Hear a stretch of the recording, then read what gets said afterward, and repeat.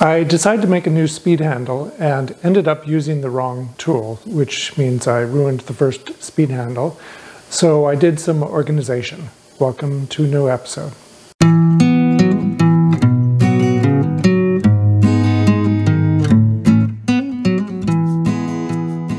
Hi, my name is John. I decided to make a new version of the Speed Vise because I had some issues with the old one. And in the process, I ended up using a larger tool for one of the ops than I expected to because I forgot which tool was in a specific slot. So that led me to do some organization of my tools so I have a better chance of remembering which is in which slot of the tool changer.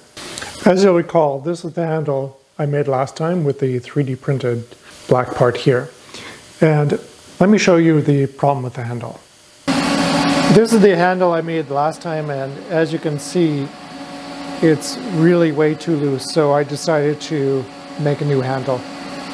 I posted a link to my video on Facebook and not long after another user, Jason Howerton, posted this which got me really inspired. I liked the clean lines of this a lot better so I headed over to the computer and created my own version. And you can see it's pretty close to the one that Jason had. Uh, it's narrower because the hex on mine is smaller. It's less than half an inch. Then I have the lightening holes here, which are not really required. The other change that I made, which is a fairly important one, is that these right now are 1 16th inch holes instead of 1 8th inch holes. Making them smaller meant that this flat area is larger, so there's more metal to grab onto the hex. Partway through making the part, I had a problem. And as you can see, it opened up the first hex hole a lot more than I expected it to. And you can tell that from the sound as well. Now, the problem you just saw there is a result of having the wrong tool. I chose tool 3, which I thought was a 3 16th inch end mill, but that wasn't correct. It was actually a quarter inch end mill, and my 3 16th inch end mill was in a different slot. So one of the things I realized is that I was having problems keeping all my tools organized.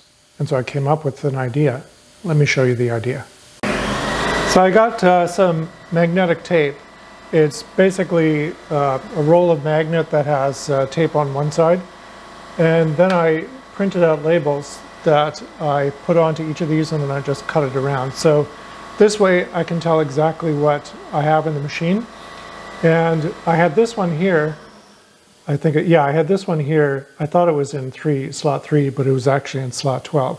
So now I have my slots labeled, so I know exactly what is in each of these. And that means that when I come to the machine, I can look to see what I had in there last.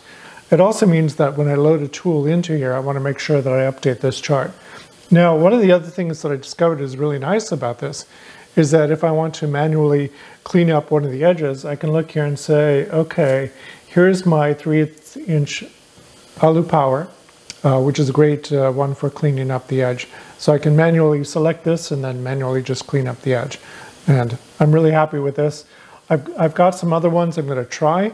Uh, this is, instead of the tape, I have some that are holders you can put on here and you slip a piece of paper in. Uh, I'm going to try that and give you an update next time. You'll see that here it starts out fairly quick and then slows down, and that's because I set the rapids to 5%, which is something that I like to do on a first job to make sure I don't crash. This time I also switched to thicker material. I'm using 3 quarters of an inch thick material to make a half inch thick wrench. And I did this for two reasons. One is because I ran out of the half inch thick material.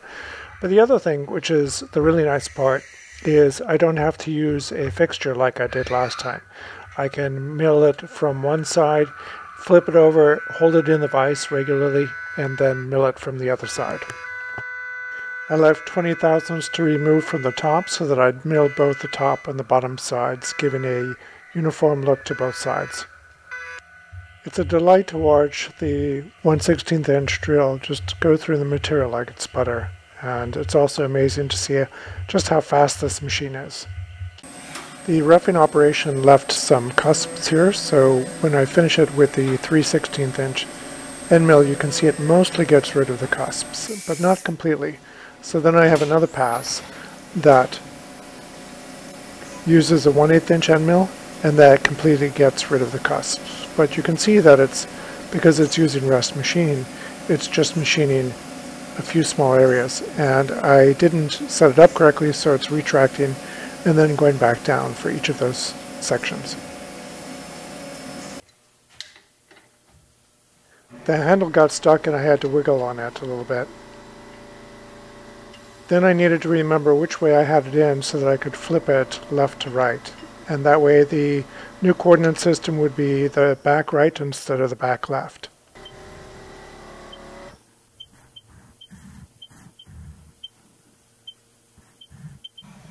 Milling the backside produced some really large and very satisfying chips. It's certainly moving the material quite quickly.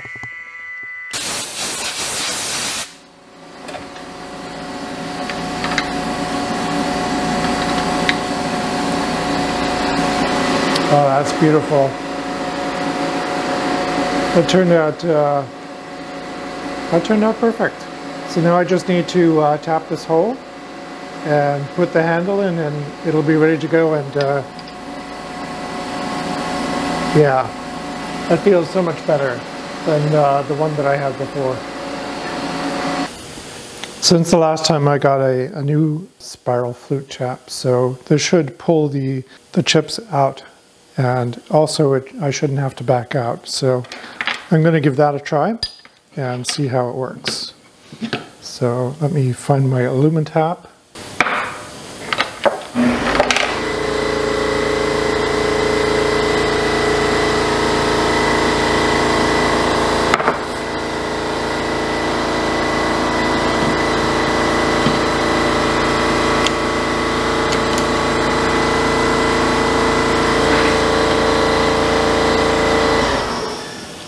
Uh, look at that. That's beautiful. Yeah, this, this handle is interesting because it has, so it has a hex on the end here, uh, which means you kind of screw it into the handle. So I'm going to get the correct hex wrench for that. So it's a three millimeter metric. I'm not sure why it's a three millimeter metric. Anyway, so what that means is I can start screwing it in this way you got it started and then I can put the wrench through the back and just screw it in and as you can see it's working its way in. Give it a good tug and there we have it. So now let me try it again on the mill and see how it is. Okay, let's try it now. Got this handle on here. Ooh, that is so nice. Because, you know, the handle rotates freely. Ah, I love that. And then when I get to the end, I can just go like this, give it a good tug, and off it comes. I hope you enjoyed the episode. I realize it's a little bit of a repeat because I made the handle again. But at the same time, there are some things I learned and I came up with this system, which I'm pretty happy with. Also, I really like the new handle uh, it uh, feels a lot better. Please subscribe, uh, give me a thumbs up, and comment below. All those things help the search algorithms so that my videos are more likely to show up. So, see you next time.